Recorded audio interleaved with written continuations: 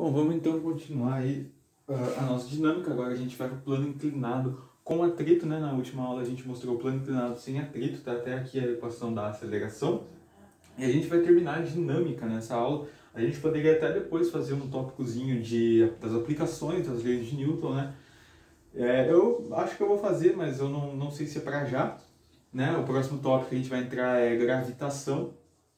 Então, é, é provável que eu faça as aplicações da lei de Newton junto com a gravitação, né? eu vou separar em, play, em playlists, mas eu ainda não sei. Uh, mas então, vamos falar hoje daí do plano inclinado com atrito, né, dessa vez, cara. É importante que você já tenha assistido a aula de plano inclinado sem atrito, né? Eu já tinha gravado a aula de plano inclinado com atrito, só que deu pau na minha câmera e aí eu não consegui, na verdade no celular, né? Eu gravo com o celular, e aí acabou que eu não consegui postar a aula, então eu tô gravando isso daqui no outro dia. Eu tava gravando um bocado de vídeo de uma vez, mas enfim. Vamos lá, plano inclinado com atrito. A gente viu no plano inclinado sem atrito que a equação para nossa aceleração tinha uh, essa cara aqui, né? A aceleração era g vezes o seno de θ, onde θ é esse ângulozinho aqui. Uh, agora a gente vai ver o que, que muda para um plano inclinado com atrito, né? Quando eu coloco atrito, o que, que muda na aceleração? Vamos ver se mudou alguma coisa. Primeiro, uh, o começo de tudo, né? Vamos começar né, traçando aqui uma pontilhada paralela ao plano inclinado, uma pontilhada perpendicular ao plano inclinado. O, o mais legal é que você faça um diagrama de corpo livre, porque fica meio complicado a gente entender se a gente fizer em cima do desenho, mas eu vou fazer aqui e vou fazer também um diagrama de corpo livre. Cara, tu saber representar as forças já é meio caminho andado, beleza? Olha só, então aqui eu tenho o bloco de massa M que parte do repouso, né, com velocidade inicial, portanto, igual a zero, e aí eu quero saber o que, que vai acontecer com ele, se ele vai deslizar ou não, né, se ele vai ter uma aceleração ou não. Então, como é que a gente vai fazer isso? Olha só. Primeiro, representa aqui as forças, né? Força-peso é a primeira força que a gente vai representar ele tem aqui um peso que é m vezes g, né? Então aqui m vezes g. Ele tem uma parcela do peso, né, em x. A gente explicou isso na última aula, né, na aula de plano inclinado, sem atrito. Então aqui tem uma outra parcela do peso, que é o peso na direção x. Aqui eu estou chamando de eixo x e aqui eu estou chamando de eixo y, né? Plano xy. Beleza? Então, aqui eu tenho o meu px, né? A gente vai ver quanto é que vale esse px. E aqui eu também tenho o peso, a parcela do peso em y, né? Então seria algo desse tipo aqui. Eu acho que eu desenhei muito maior do que precisava. É.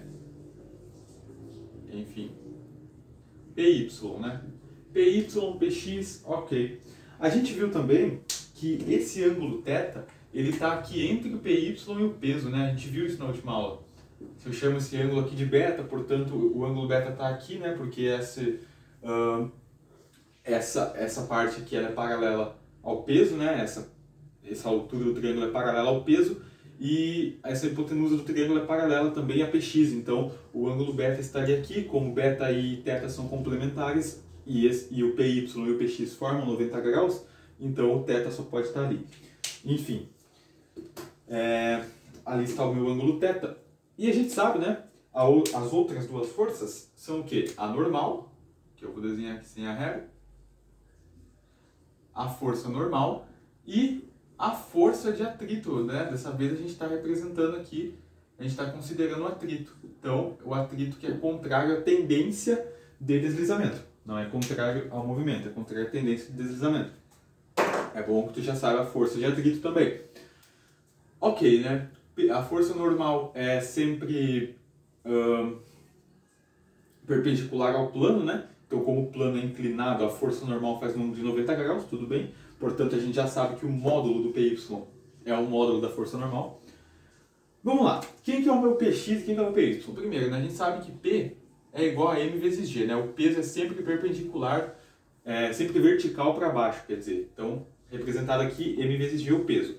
Então, como que eu calculo o px primeiro? Vamos calcular o px. Pô, decomposição de vetores, né? Se eu quero calcular o peso em x, eu pego o vetor original e multiplico pelo quê? Seno ou cosseno? Seno, né? a, a, o macetezinho que a gente usa, olha só, aqui está sem ângulo, então usa seno. Né? Isso é uma decoradinha boba, cara.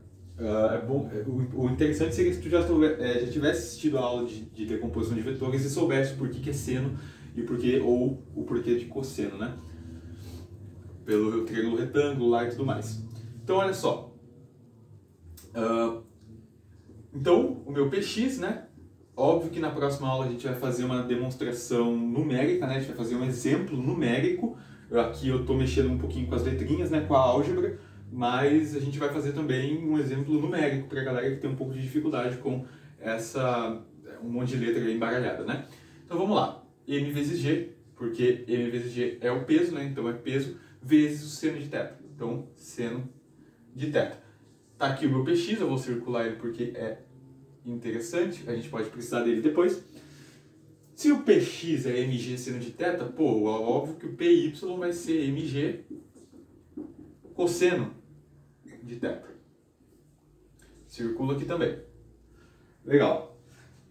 O que, seria interessante eu fazer agora? Lá na, no plano inclinado sem atrito, a gente só precisou calcular essas duas coisas aqui, né? E como o PY é a força normal, eles cancelam, então, eles se anulam, né? Então, a força resultante, né, que era a segunda lei de Newton, a força resultante igual a massa vezes a aceleração, a força resultante aqui, né, era o px, apenas o px. E aí a gente achava, né, a aceleração. Nesse caso, a força resultante não é só o Px. Eu tenho essa força de atrito aqui me atrapalhando também, não é? Por exemplo, se eu adoto o sentido positivo na direção do movimento, então considerando né, que esse bloco é, é, é, intuitivo, né, é óbvio que ele vai descer nessa direção aqui se ele descer, se ele deslizar, se ele sair do repouso, ele vai uh, para essa direção aqui, né? A não ser que eu tenha uma força externa aqui, né, empurrando ele para cima, mas eu não tenho. Eu estou considerando a, a, a, somente forças né, uh, ali naturais. A, o peso, a força de atrito, a força normal, enfim. Não tem nenhuma... O, a força de atrito, né, ela não é uma força conservativa, ela não é uma força... É, ela é uma força externa, né? Mas enfim. Uh, se eu adotar, igual eu estava falando, o sentido aqui para o deslocamento para a direção do movimento como mais, então eu vou adotar para baixo aqui como positivo, então para essa direção aqui eu vou adotar como mais.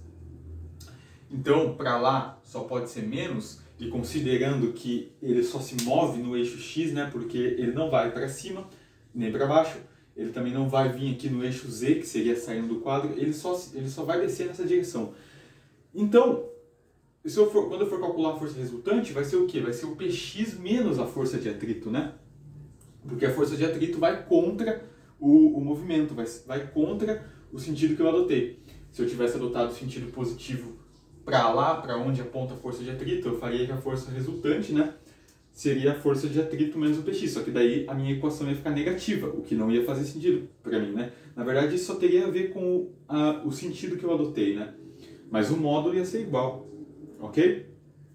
Olha só então, o que, que a gente vai fazer agora? Uh, se eu faço, primeiro, né, eu quero calcular a aceleração. Essa seria a pergunta principal. Qual é a aceleração desse bloco? Bom, primeiro eu tenho que saber se ele vai deslizar, né? Como que eu vou saber se ele vai deslizar ou não? Porque, ó, coloquei ali um bloquinho no plano inclinado. O que, que acontece? Não sei. Eu não sei se o PX vai ganhar da força de atrito estática máxima. Eu tenho que saber se a, quanto que vale a força de atrito estática máxima. Olha só, lembra como é que calcula a força de atrito? Força de atrito é igual ao coeficiente de atrito vezes a força normal, né? Só que, se eu estou falando de força de atrito, eu, eu, quero saber a força de atrito estática máxima. Por quê? Porque o, se o Px não vencer a máxima força de atrito estática, então ele não vai deslizar, né? Ele tem que ser maior do que isso. Então eu quero calcular o máximo, porque uh, se ele não descer, significa que a força de atrito estática né, ela é igual ao Px se o bloco não descer, já que ele está em repouso. Então, ok, força de atrito estática máxima, coeficiente de atrito estático vezes a força normal, né? E a força de atrito, atrita, força de atrito é, cinética ou dinâmica, ela é o coeficiente de atrito cinético vezes a força normal. Ok. Então, vamos começar calculando aqui a nossa força de atrito estática máxima.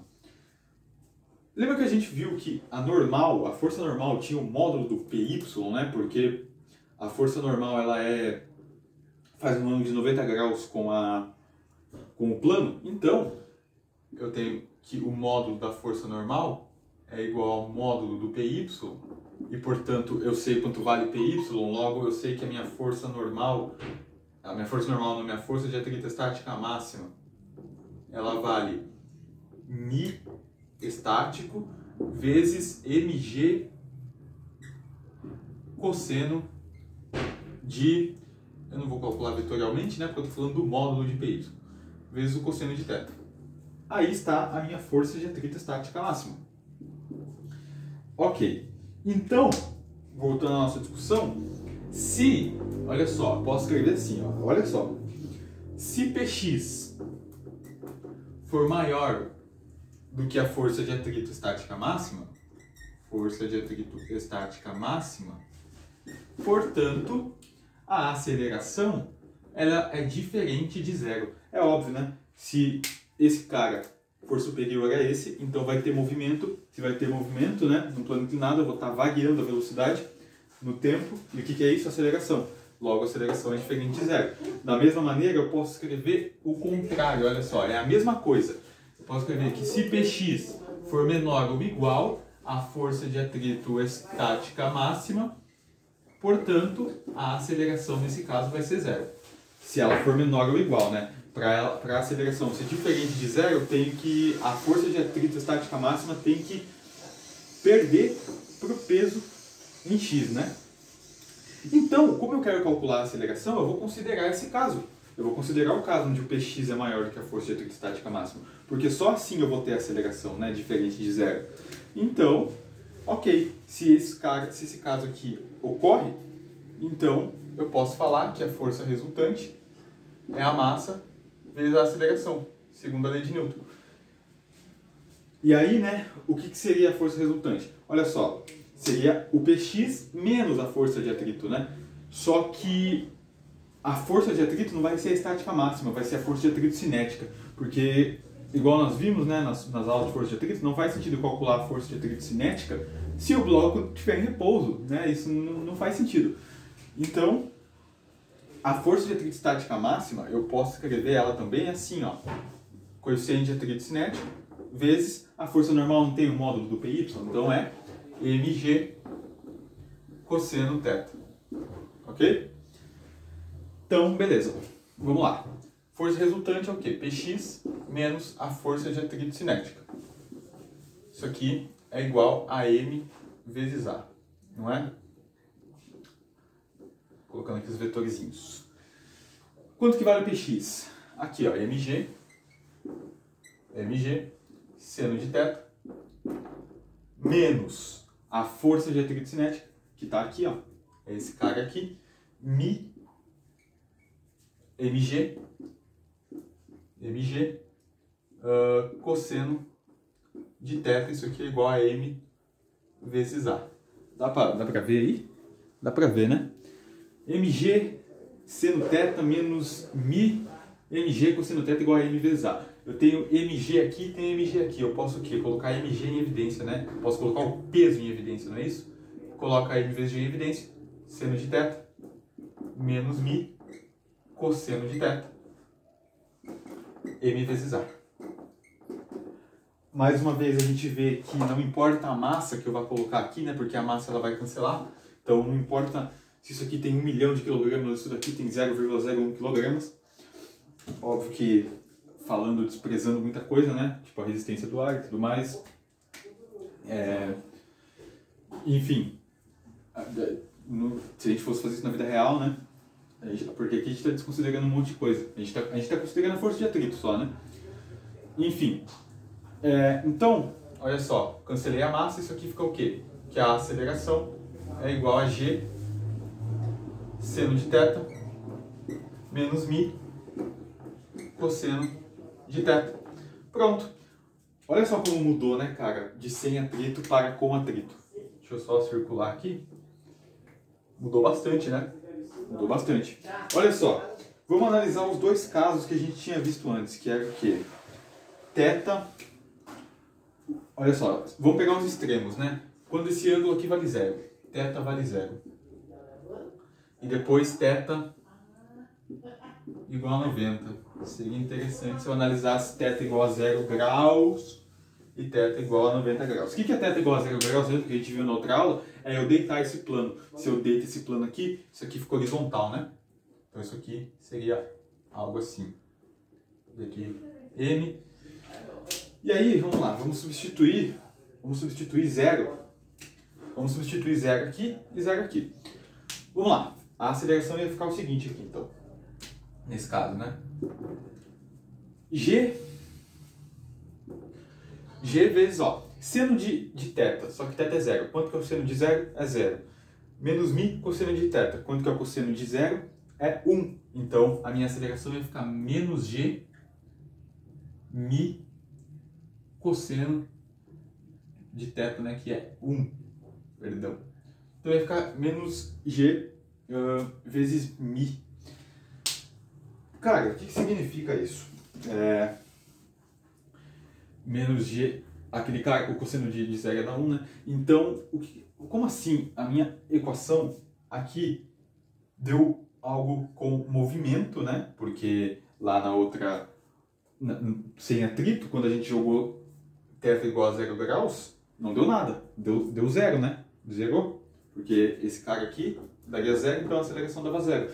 Mas o que está acontecendo nesse caso? Como assim ele está dando negativo, né? Isso indica que o bloco está se movendo na direção oposta do meu sentido de, de referência, né? onde eu adotei positivo, na verdade você tem que lembrar que está resolvendo um problema de física e não de matemática. Por que, eu estou falando isso? Porque nesse caso aqui nem vai ter força de atrito, porque ele vai estar tá em repouso, né? Se ele está em repouso, como é que tem força de atrito se eu não tenho px? Então, esse cara aqui, ó, ele nem ia aparecer na conta da força resultante. A força resultante ia ser zero, né? Pela primeira lei de Newton a força resultante é ser zero. Então, aquilo ali não é verdade. Aquilo ali, matematicamente, é, mas uh, fisicamente não, não, não é verdade. Não é o que acontece. Então, a gente viu o caso para θ igual a zero graus. Quando θ for igual a zero e nenhuma força agir sobre esse bloco, a única força que vai agir aqui é o peso e é normal, né? E aí, se eu começo a fazer uma força aqui, obviamente, aí eu vou ter o, o atrito aqui, né? Mas caso eu não faça força nenhuma, vai ser só o peso é normal, beleza? E aí então a aceleração é igual a zero, assim como no plano inclinado sem atrito. É óbvio, né, cara? Deita esse cara aqui, coloca um bloco em cima, não vai acontecer nada, né? Se ninguém agir sobre ele, se nenhuma força agir sobre ele. É igual a 90, eu ia colocar 90 no lugar do θ, então seno de 90 daria 1 e cosseno de 90 daria 0. Então, eu ia ficar com g vezes o seno de 90. Só que seno de 90 é 1. Então, a aceleração, nesse caso aqui, ia ficar igual à gravidade. Óbvio, né? Igual a gente viu na, na outra aula, de plano inclinado sem atrito. O que, que seria teta igual a 90? Seria eu levantar esse cara aqui no máximo, né? Então, o teta seria esse ângulo todo aqui, ó, 90 graus. Isso aqui tudo seria teta. E aí eu coloquei o meu bloco, né? Veio para cá, então eu coloquei ele aqui. E aí, a aceleração ia ser a própria aceleração da gravidade. Pô, faz sentido, não faz? Pega um bloco, pega alguma coisa, coloca na parede aqui, ó, e solta. Ele vai cair com que velocidade? Aceleração da gravidade. Com que velocidade não? Com que aceleração? Com a aceleração da gravidade. Então, ok, né? Então a gente pode escrever que se θ tá entre uh, 0 e 90, a gente tem que usar isso daqui, né? Não tem como. Se for igual a zero, a gente tem o caso onde ele fica em repouso, e se θ for igual a 90, a gente tem o caso de onde a aceleração é a própria aceleração gravitacional. Se não for nenhum desses casos, se ele tiver, se ele for maior do que zero e menor do que 90, né? Então ele está entre 0 e 90, aí a gente usa aqui a nossa famosa equação. Cara, tu vê, Tu não precisa decorar que a aceleração num plano inclinado é g seno θ menos mi cosseno de θ. Cara, eu não sei isso aqui de cabeça. Falar a minha verdade, eu não sei isso aqui de cabeça. O, interessante é tu entender esse desenvolvimento aqui que a gente fez, né? Na próxima aula a gente vai fazer o mesmo desenvolvimento, só que com números, né? Para facilitar mais. Mas, claro que se o cara tem um cérebro de elefante, como a gente diz, né? Ele pega aqui, decora isso daqui, joga os dados ali e radapla, toma aí a aceleração. Eu não acho interessante, eu acho que você pode guardar energia, acho que você pode guardar espaço no seu cérebro para outras coisas. Uh, do que decorar a aceleração no plano inclinado, né? Até porque é bem específico, né? Mas enfim, é, é isso. Então, na próxima aula a gente vai fazer um exemplo numérico. E é isso, galera. Valeu!